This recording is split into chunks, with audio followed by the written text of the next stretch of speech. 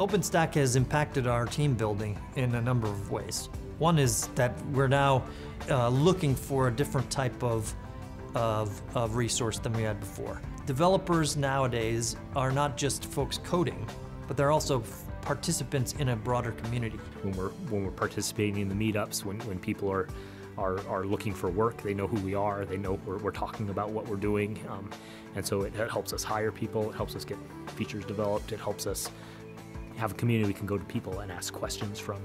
By actively involved with the community, we can also attract some talent uh, for our own organization. The software development mentality that started in our software development team has spread to everyone who supports and utilizes OpenStack throughout the entire company. The more people that get involved in the community, that means there's, there's more people out there who have worked with this product and are potentially available to hire to help us work on the product.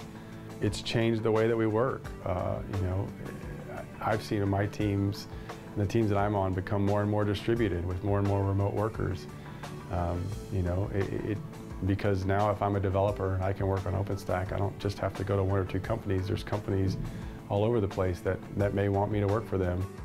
I would say that's one of the huge benefits of, of OpenStack, of open source software in general, is that you really feel like your career is not tied to the success of a company that may or may not survive. Working with the OpenStack community has actually been a lot of fun.